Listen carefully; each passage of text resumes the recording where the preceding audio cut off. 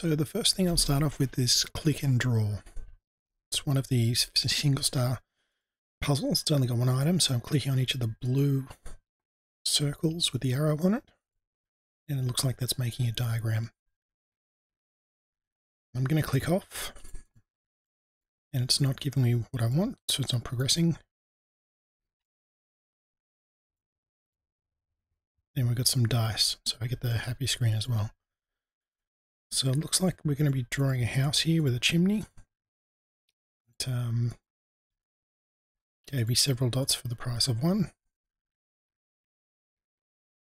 Going to go into click and draw. Draw a picture by clicking on the selected points. The person can move, the prerequisite is that they can move the mouse and click accurately on points. Yep, no problem. Draw the picture by clicking on each point in the sentence. Each time a point is selected, the next one appears. Okay.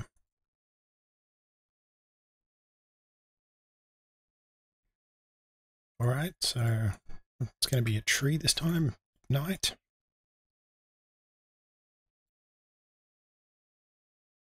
And Christmas tree with a star on the top end. that we've got some flowers down the bottom. Looks like this is going to be a person with their hats arms down to the legs and scarecrow. There's a lot more dots on this one. And it looks like it's going to be a plane.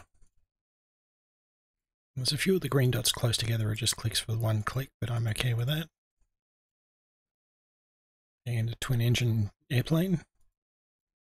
So I'm not going to be trying to pedantic or specific with the testing of this one. As long as the person can do the activity and get enjoyment or a learning experience out of it, I'm going to consider it okay. I'm not going to be like a stickler for the rules and say, I didn't click it four times. And that one we've got a fish. But it I did click twice and it only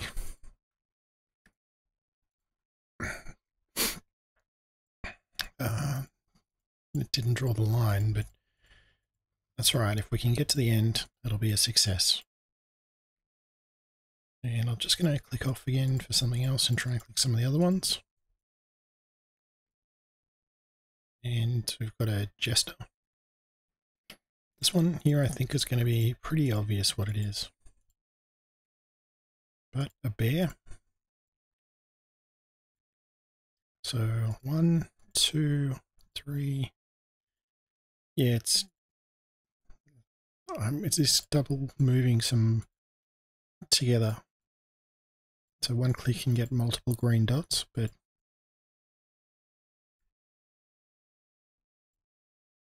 and it will let me hold the mouse button down and then draw around for a bear. And I think that's all the items. So I've got an option of go to the next level. I'm gonna make it manual. And go back to that just going to redo the first one. Yeah, okay, so if I then manually select it as well. Well, that looks like a pass to me.